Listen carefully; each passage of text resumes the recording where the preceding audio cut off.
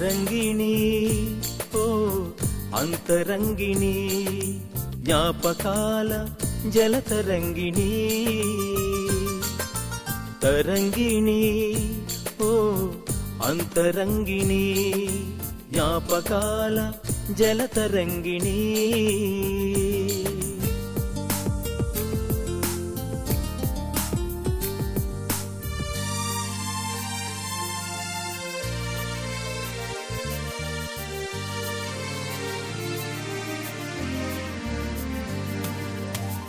నెచ్చిలిగా తానొస్తుంది వెచ్చని బ్రతుకిస్తుంది శబ్దానికి తానర్థం అవుతుంది. భావానికి తను భాషే అవుతుంది. నెచ్చిలిగా తానొస్తుంది వెచ్చని బ్రతుకిస్తుంది శబ్దానికి తానర్థం అవుతుంది. ఓ భావానికి తను భాషే అవుతుంది. తరంగిణి ఓ అంతరంగిణి జ్ఞాపకాల జలతరంగిణి. తరంగిణి ఓ అంతరంగిణి జ్ఞాపకాల జలతరంగిణీ.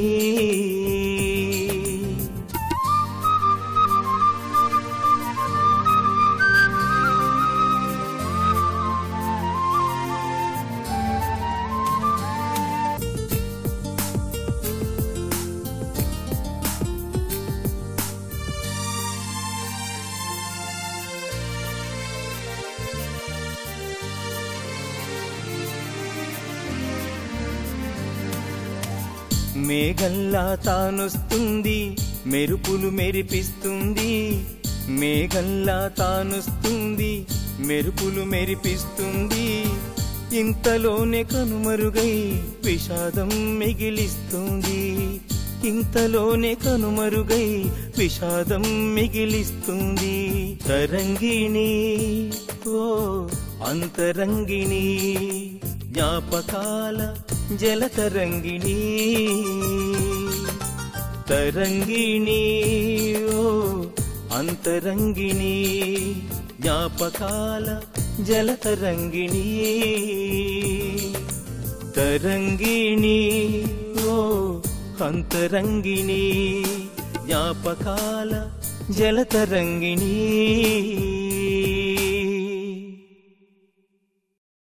అంత మాత్రం చేత ఈ జీవితం శాశ్వతం అని నేను అనుకోవటం లేదు. మరణమే శాశ్వతం. మరణమే సహజం. సరిగ్గా ఈ పాయింట్ దగ్గరే మాస్టార్తో కూడా నేను విభేదించాను.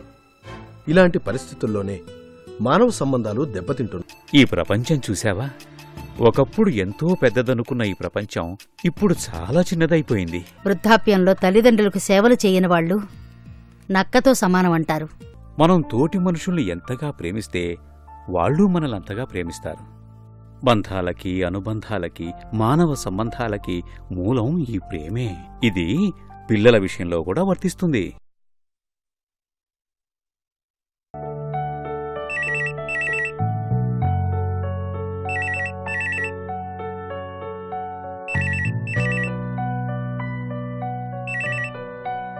హలో ఎవరు? నువ్వా నాన్నా? ఎలా ఉన్నావురా? కోడలు పిల్లలు ఎలా ఉన్నారు? మీ నాన్నగారా? ఉన్నారు. ఉండు పిలుస్తాను. యాండి? యాండి? అమెరికా నుంచి అబ్బాయి ఫోను. వస్తున్నా. ఆ, చెప్పరా. మేమా? ఏమోరా. ఎంత చెప్పినా మీ నాన్నగారు వింటం లేదు. ఆయనకెందుకో అమెరికా రావడం ఇష్టం లేనట్టుగా ఉంది. ఇదిగో వచ్చారు. నువ్వే మాట్లాడు. హలో? బానే ఉన్నావురా. నెక్స్ట్ మంత్ రిటైర్ అవుతున్నాను. ఓ ఐదారు లక్షల దాకా వస్తుంది. అలాగే లేరా దుబారా చేయంలే ఒకవేళ నేనేమైనా చేద్దామన్నా మీ అమ్మ చేయనిస్తుందా ఏంటి? అమెరికాకా? లేదురా మేము రాలేమురా. అయినా ఇప్పుడు ఆ డిస్కషన్ ఎందుకు? ఇంకా టైం ఉంది కదా. చూద్దాంలే. ఉంటాను. కోడల్ని పిల్లల్ని అడిగానని చెప్పు. రే రే అవన్నీ మీ అమ్మతో మాట్లాడు ఇదిగో. ఆ చెప్పు నాన్నా. హలో? హలో? ఛ! వెధ ఫోను. లైన్ కట్ అయినట్టుంది. ఏమిటి? అవన్నీ మెమ్మతో మాట్లాడు అంటున్నారు. ఏం చెప్పాడేమిటి ఏముంది? ఎప్పుడూ ఉండే గోలే. మనల్ని అమెరికా వచ్చేయమంటున్నాడు. వెళ్దామండి. మనకున్నది వాడొక్కడు. మనం ఇక్కడ వాడక్కడ ఎందుకు? అందరం కలిసే ఉందాం. వాడికంటే ఉద్యోగం ఉంది గనక అక్కడికి వెళ్ళాడు. మనం వెళ్ళి ఏం చేస్తాం? ఇది మరీ బావుందండి. కొడుకు కోడలతో కలిసి ఉంటాం. ఇంకేం చేస్తాం? ఓసి పిచ్చి ముద్దు. నీకు కొడుకు దగ్గరికి వెళ్ళాలన్న ఆశ ఆవేశమే తప్ప ఆలోచన లేదు. అమెరికాలో మన కొడుకు కోడలు ఏమైనా ఖాళీగా ఉన్నారా? ఇద్దరూ ఉద్యోగాలు చేసుకుంటున్నారు. పొద్దుట వెళితే రాత్రి దాకా ఇంటికొచ్చే తీరిక ఉండదు వాళ్ళకి. మనం అక్కడికి వెళ్ళిన ఒంటరి వాళ్ళమే ఇక్కడ ఉన్న ఒంటరి వాళ్ళమే. అంతదానికి అక్కడ దాకా ఎందుకు వెళ్ళటం? ఇక్కడే ఉందాం. యాండి ఒక్కోసారి మీరేం మాట్లాడతారో నాకు అర్థం కాదు. ఎవరైనా వయసు అయిన తర్వాత కొడుకు దగ్గర హాయిగా ఉండాలి అనుకుంటారు. మీరేమిటండి? లింగులిటుకుమంటూ ఒంటరిగా ఉండాలనుకుంటారు. తరంగిణి ఓ అంతరంగిణి జ్ఞాపకాల జలతరంగిణి. చెప్పానుగా ప్రభావతి ఈ ఊరు ఈ వాతావరణం వదిలి ఎక్కడో బతకటం నాకు ఇష్టం లేదు. నువ్వు అన్నట్టు చివరి దశలో కొడుకు నీడలో బతకాలని నాకు ఆశగానే ఉంది. కానీ వాడుండేది అమెరికాలో. మన దేశం కాదు మన భాష కాదు మన వాతావరణం కూడా కాదు. అలాంటి చోట మనం ఉండలేం ప్రభావతి. మనం అక్కడ ఎవరింట్లోనో ఉండడానికి వెళ్ళటం లేదు. మన కొడుకు దగ్గరికే వెడుతున్నాం వాళ్ళేం పరాయి వాళ్ళు కాదు మనవాళ్ళే కాదని అంటం లేదు. కానీ ఒక్క విషయం ఆలోచించు. ఆ దేశంలో వాళ్ళిద్దరూ బతకటమే కష్టంగా ఉంటుంది. పేరుకు డాలర్లు సంపాదిస్తున్నారు అనుకుంటామే గాని అక్కడ ఖర్చు కూడా అలాగే ఉంటుంది. అలాంటప్పుడు మన ఇద్దరం వెళ్ళి వాళ్ళకి భారంగా ఉండటం మంచిదంటావో చెప్పు. విచిత్రంగా మాట్లాడకండి. వాడికి మనం భారం ఏమిటండి? మన్ని చూసుకోవాల్సిన బాధ్యత వాడికి ఉంది ఉండొచ్చు కానీ అక్కడికి వెళ్ళి ప్రతిదానికి వాడి మీద ఆధారపడి బతకటం నా వల్ల కాదు. నువ్వు అత్తగా వెళ్ళాలి అనుకుంటే నువ్వు వెళ్ళు నేను రాను. మీకేమన్నా పిచ్చా? నన్ను ఒక్కదాన్నే వెళ్ళమంటారు? మరి అమెరికా అమెరికా అని గంతులేస్తున్నావు కదా వెళ్ళు. అంటే మీరు రారా? రాననేగా చెప్తున్నాను. వితండవాదం చేయకండి. మనం వెళ్తున్నాం అంతే. చూడు నీ గురించి నిర్ణయం నువ్వు తీసుకో. నాకేం అభ్యంతరం లేదు. అంతేగాని నన్ను కమెంట్ చేయాలని చూడకు. ఇందులో కమెంట్ చేయడం ఏముందండి? మిమ్మల్ని ఇక్కడ ఒంటరిగా వదిలేసి నేను వెళ్ళాలా? నలుగురు ఏమనుకుంటారు? అంటే నలుగురు ఏమనుకుంటారో అనే తప్ప నేను ఇబ్బంది పడతాను కాదనమాట అది కాదండి. మనం రావని చెప్తే వాడు బాధపడతాడు. ఓసి పిచ్చి మొహమా? వాడేదో ఫార్మాలిటీ కోసం మనల్ని రమ్మంటున్నాడు. మనం వెళ్ళకపోతేనే వాడు ఊపిరి పీల్చుకుంటాడు. మీరు మరీ దారుణంగా మాట్లాడుతున్నారు. నా కొడుకేం అలాంటి వాడు కాదు. వాడు అలాంటి వాడు కాకపోయినా వాడి పరిస్థితులు అలాంటివి. వాడుండేది దేశం కాని దేశం. వాడికుండే సమస్యలు వాడికుంటాయి. మనం వాడికి సమస్య కాకూడదనే వద్దంటున్నాను. దర్జాగా ఇద్దరు ఉద్యోగాలు చేసుకుంటున్నారు. వాళ్ళకేం సమస్యలుంటాయండి? నువ్వెన్నైనా చెప్పు. నేను రానుగాక రాను. అంతే. మీ అంత మొండు మనిషి ఎవ్వరూ ఉండరు. నన్ను మొండివాడనుకో మూర్ఖుడనుకో ఏమన్నా అనుకో నేను చెప్పేది ఒకటే మిమ్మల్ని మేము కన్నాం గనుక మమ్మల్ని మీరు చూసి తీరాలి అని పిల్లల్ని శాసించే వాళ్ళు ఎవ్వరూ మనశ్శాంతిగా ఉండరు. ఆ విషయం గుర్తుపెట్టుకో. ఈ టాపిక్ ఇంతటితో వదిలేయి. చివరిదాకా మన ఇంట్లో మనం ఉందాం. కాదు కూడదంటావా? నీ ఇష్టం. నువ్వు వెళ్ళు నాకేం అభ్యంతరం లేదు.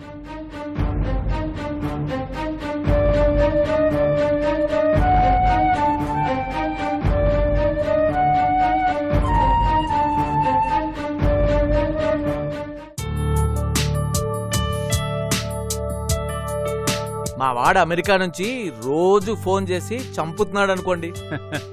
కొడుకు దగ్గర నుంచి ఫోన్ వస్తే సంతోషించాలి గాని చిరాకు పడతారేంటి సుబ్బారావు గారు? మీకేం తెలుసండి నా బాధ? మమ్మల్ని అమెరికాకు వచ్చేయమని ఒకటే గొడవ చేస్తున్నాడు అనుకోండి. హాయిగా వెళ్ళండి. దానికి బాధెందుకు? మ్హూ. నాకు అక్కడికి వెళ్ళటం ఇష్టం లేదండి. అక్కడ మనిషికి మనిషికి మధ్య కమర్షియల్ సంబంధాలు తప్ప ఆత్మీయత స్నేహభావాలు అసలు ఉండవట. అలా మనకు తెలియని వాటి గురించి ఏదేదో ఊహించుకుంటే పొరపాటండి. అక్కడ మనుషులే ఉన్నారు. వాళ్ళ మధ్య ఉండే బంధాలు వాళ్ళకుంటాయి. ఏమునండి ఏమున్నా? మన వాళ్ళ మధ్య ఉండటం వేరు. అక్కడికి వెళ్ళి ముక్కు మొహం తెలియని వాళ్ళ మధ్య ఉండటం వేరు. కానీ మా ఆవిడ మాత్రం ఒకటే గొడవ వెళదాం వెళదాం అంటూ. ఏం చేయాలో అర్థం కావటం లేదు. పోనీ ఓసారి వెళ్ళిరండి. నచ్చితే ఉండిపోండి నచ్చకపోతే వెనక్కొచ్చేయండి. ఇక ఆ పనే చేద్దాం అనుకుంటున్నాను. నమస్కారం రఘురామ్ గారు. నమస్తే నమస్కారం. సార్. నమస్తే. మీకోసం ఇంటికి బయలుదేరాను మీరే కనిపించారు. ఇంత పొద్దునే నాతో పనేమిటండి? మంచి రచయితలతో మాకున్న పని వేరే ఉంటుందండి. వచ్చే నెలలో మా పత్రిక తరపున స్పెషల్ ఇష్యూ రిలీజ్ చేస్తున్నాం. మీరు మా మీద దయ ఉంచి అర్జెంటుగా మంచి రొమాంటిక్ ప్రేమ కథ రాసివ్వాలి అదే నా కోరిక. ఏమండి ప్రసాదరావు గారు నా వయసు డెబ్బై ఏళ్ళు. ఈ వయసులో ప్రేమ కథలు రాయగలననేనా మీ నమ్మకం? కథ రాయడానికి వయసుకి సంబంధం ఏమిటండి? అది మనసుకు సంబంధించింది మేధస్సుకు సంబంధించింది. అవుననుకోండి. కానీ రాయగలనా అనేదే నా సందేహం. మీకు ఆ సందేహం ఏమీ అక్కర్లేదు. మీరు రాయగలరు. మీ గురించి నాకు తెలియదా సరే ప్రయత్నిస్తానులే. ప్రయత్నించడం కాదు సార్. మీరు రాస్తున్నారు అంతే. అలాగే లేవయ్యా. సరే నేను వస్తానండి. ఆ, వచ్చే వారం కలుస్తాను. అలాగే. నమస్తే సార్. నమస్తే సార్. నమస్తే అండి.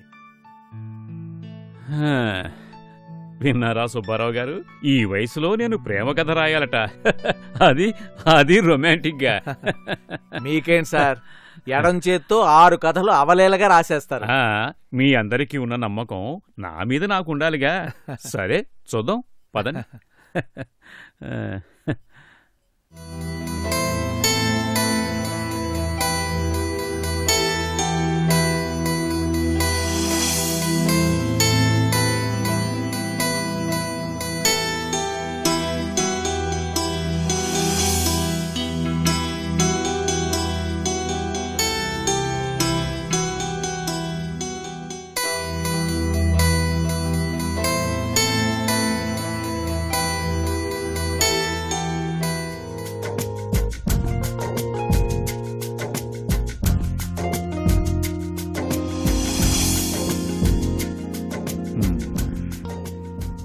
నా శరీరం. నా శరీరం ఇలాగే కరిగిపోవాలనుకుంటున్నాను. ఏంటయ్యో? నీలో నువ్వే గొణుక్కుంటున్నావు. గుణుక్కోవటం కాదు చిన్ని. ప్రేమ కథ రాస్తున్నాను. ఈ వయసులో నువ్వు ప్రేమ కథ రాయడమా? తరంగిణి ఓ అంతరంగిణి జ్ఞాపకాల జలతరంగిణి. అదే నేను చెప్తే ఆ ప్రసాదరావు వినలా. తప్పకుండా రాసే తీరాలన్నాడు. రాయ్ కథలు రాయడం మానేసి చాలా కాలం అయిందిగా. మళ్ళీ కాస్త కాలక్షేపంగా ఉంటుంది. ఇంతకీ ఏం కథ మొదలు పెట్టావే? మంచి రొమాంటిక్ కథ. దీంట్లో ఓ అమ్మాయి అబ్బాయి ఒకరినొకరు తొలి చూపులో చూసుకుని ఇష్టపడతారు మలి చూపుల్లో ప్రేమించుకుంటారు.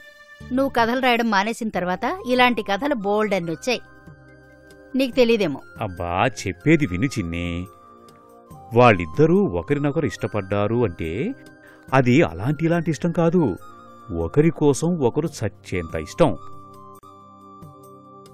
ఆ పరిస్థితుల్లో ఆ అమ్మాయిని చూసినప్పుడు ఆ అబ్బాయి ఏమంటే బాగుంటుంది చిన్ని? ఏమో నాకేం తెలుసు. ఆ కథకి రచయిత మీరు. ఏమంటాడో మీరే చెప్పండి. నేనొకటి రాశాను. చదువుతాను విను.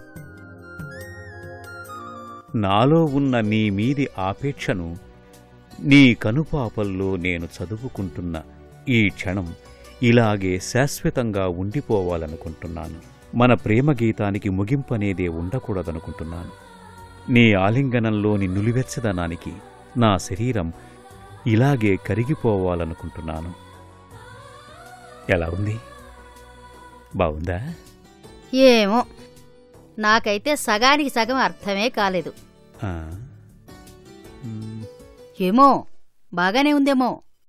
బాగా లేకపోతే నువ్వు రాయవు కదా? అలా రాయాలి అని నువ్వు అనుకున్నావు అంటే బాగానే ఉంటుంది.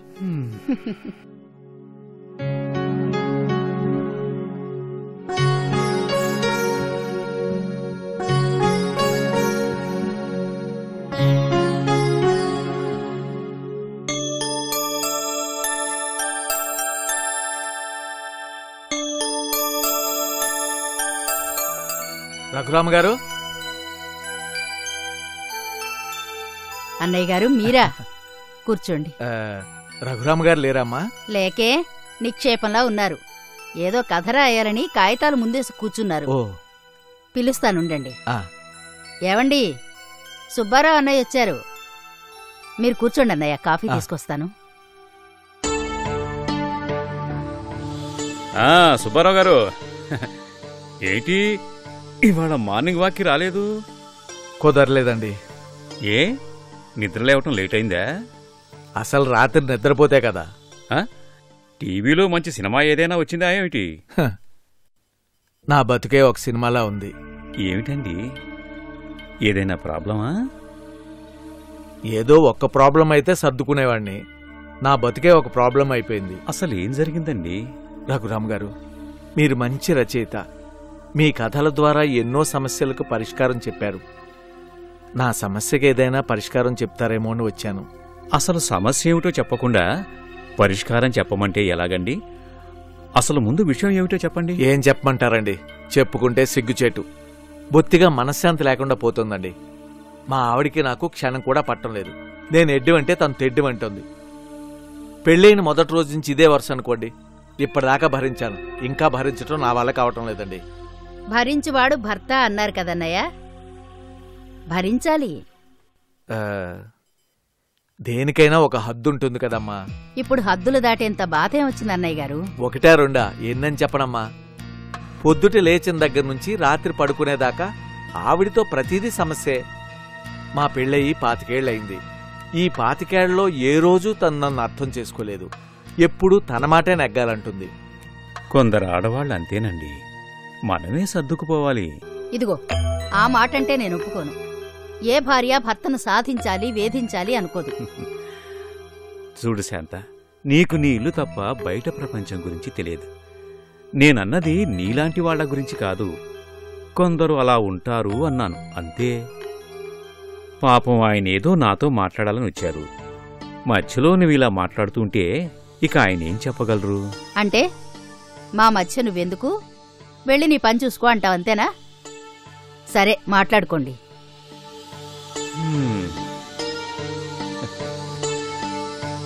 మా శాంతకు ముక్కు మీదే ఉంటుంది కోపం. మీరేమనుకోకండి? ఆవిడ గురించి నాకు తెలియకపోతే కదండి. రఘురామ్ గారు మీరు చాలా అదృష్టవంతులండి. ఉన్నట్టుండి ఇలాంటి కాంప్లిమెంట్ ఇచ్చారేమిటండి? నిజమండి. ఇన్నేళ్ళుగా చూస్తున్నాను కదా మీ అనుబంధాన్ని. ఒక్కోసారి నాకు మీ మీద అసూయ కలుగుతుంది. మీలాంటి జీవితం నాకు లేదే అని. తరంగిణి ఓ అంతరంగిణి జ్ఞాపకాల జలతరంగిణి. కాస్త బాధగా కూడా ఉంటుంది. జీవితాన్ని సుఖమయం చేసుకోవాలన్నా దుఃఖమయం చేసుకోవాలన్నా అంతా మన చేతిలోనే ఉంది. నా గురించి పూర్తిగా వింటే మీరే ఒప్పుకుంటారు. మన చేతుల్లో ఏమీ లేదని. ఇంతకీ మీ సమస్య ఏమిటో చెప్పండి. నేనేదో మా ఆవిడ మీద కోపంతో చెప్తున్నాను అనుకోకండి. ఏదో నా బాధ మీతో చెప్పుకుంటే కాస్తైనా మనశ్శాంతి దొరుకుతుందేమో అని చెప్తున్నాను. మా ఆవిడది విచిత్రమైన మనస్తత్వం అండి. ఎంతసేపు తాను చెప్పింది అవతల వాళ్ళు వినాలి అంటుంది తప్ప అవతల వాళ్ళు ఏం చెప్తున్నారు అని వినిపించుకోదు. ఇన్నాళ్ళు కనీసం మా వాడు ఉండేవాడు. ఇప్పుడు వాడెళ్ళి అమెరికాలో కూర్చున్నాడు. ఇంట్లో ఉండేది మేమిద్దరమే కదా. ఆవిడికి మాట్లాడాలనిపించినా పోట్లాడాలనిపించినా అన్నీ నాతోనే. రెండు రోజుల నుంచి మరీ భరించలేనంతగా తయారైంది ఆవిడ నస.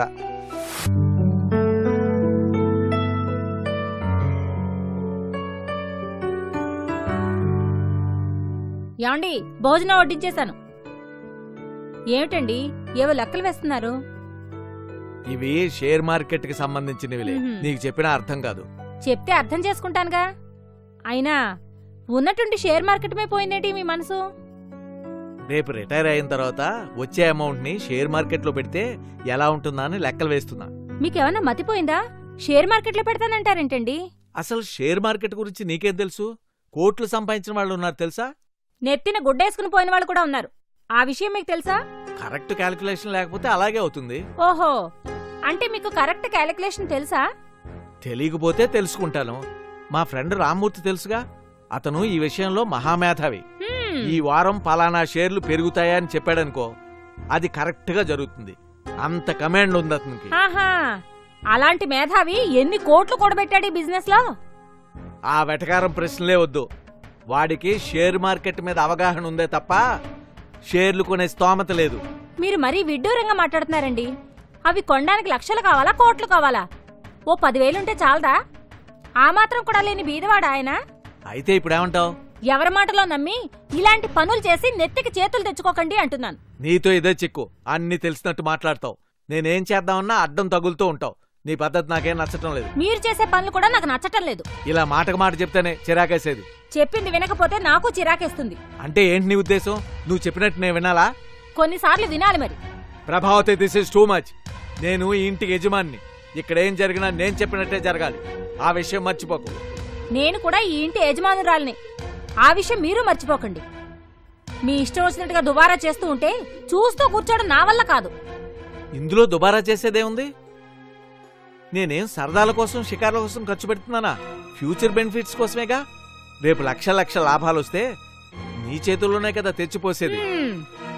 మబ్బుల్లో నీళ్ళు చూసి ముంతలో నీళ్ళు పారపోసుకున్నట్టుగా ఉంది మీ విషయం.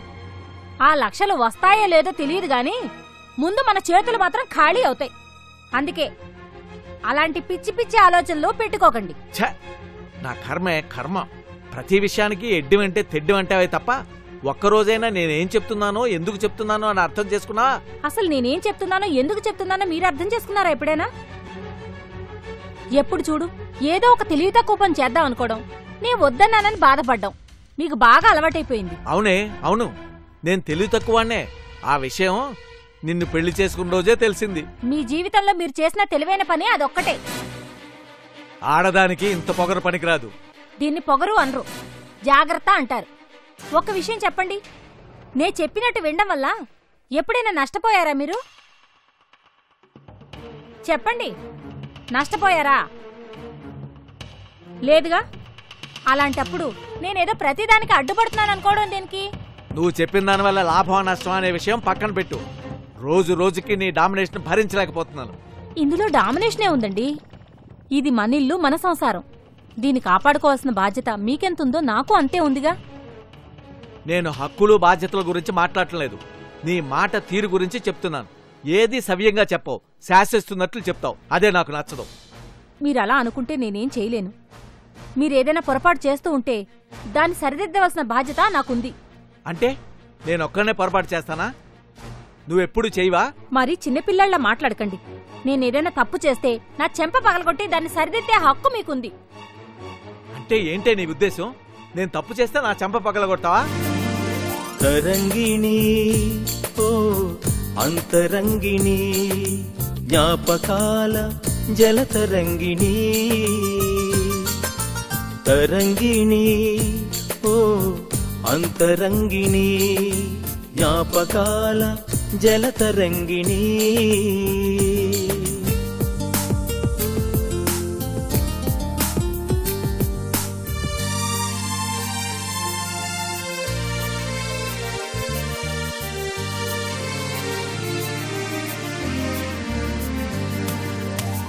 నెచ్చిలిగా తానొస్తుంది వెచ్చని బ్రతుకిస్తుంది. శబ్దానికి తానర్థం అవుతుంది. భావానికి తను భాషే అవుతుంది. నిచ్చలిగా తానొస్తుంది వెచ్చని బ్రతుకిస్తుంది. శబ్దానికి తానర్థం అవుతుంది. ఓ భావానికి తను భాషే అవుతుంది. తరంగిణి ఓ అంతరంగిణి జ్ఞాపకాల జలతరంగిణి.